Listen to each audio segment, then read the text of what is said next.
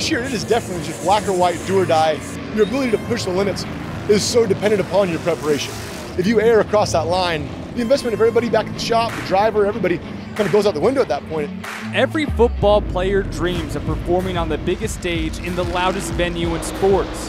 That's what former Arizona State walk on Kellen Mills had in mind, but not in the way it ended up as one of the top jackmen in NASCAR. Mills was part of the last state championship of the Mountain View football dynasty in Mesa in 2002 and walked on at Arizona State, eventually earning himself a scholarship to play for the Sun Devils through 2007. But when football life was coming to an end, an unlikely opportunity presented itself. Our strength coach, Joe Kenn, was a big NASCAR fan, and he uh, put myself and a couple other my teammates in touch with some of the NASCAR coaches, and uh, pretty much just set up set us up the tryout. One of those teammates that joined Kellen was a fellow ASU walk-on from Corona del Sol High School.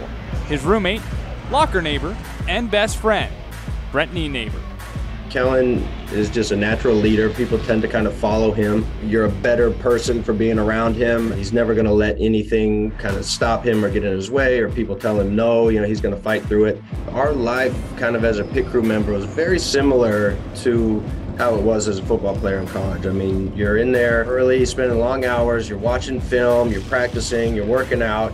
While Nienaber went back to football and now resides in the office of the Washington Commanders, Mills serves as the jackman for star driver Denny Hamlin, where he was part of an 8.6 second pit stop this season, the fastest in NASCAR history. While the mental mindset of moving to a NASCAR pit crew presented a massive hurdle, the lifestyle of being a college football walk on played into his path to success.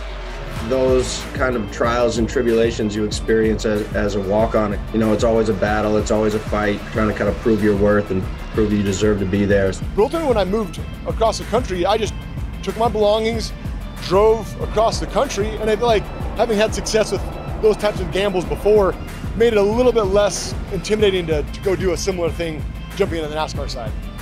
I kind of related a lot football wise as like a special teams player because you're doing a pit stop and then you're sitting and you're just kind of waiting for a long time and then you have to be ready at the blink of an eye to get out and do another pit stop. A lot of guys that come from football have to get the mentality that you certainly aren't the primary piece of the pie. You're definitely a contributor to what the driver's doing and, and what he wants to achieve and you got to make sure that you don't take any more risk than is necessary to deliver as much as you can deliver for him.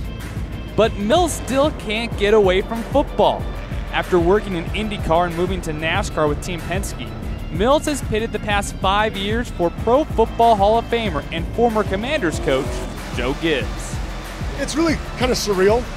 Whenever he's around, I try to take a step back and, and observe, like, what exactly is he doing? What kind of things does he focus on? It's an honor to kind of work with him and be able to grasp little bits of wisdom from how he behaves and what he what he focuses on. For sure. Mills has evolved into a veteran pit crew member and is still in search of helping Denny Hamlin acquire that elusive Cup Series championship.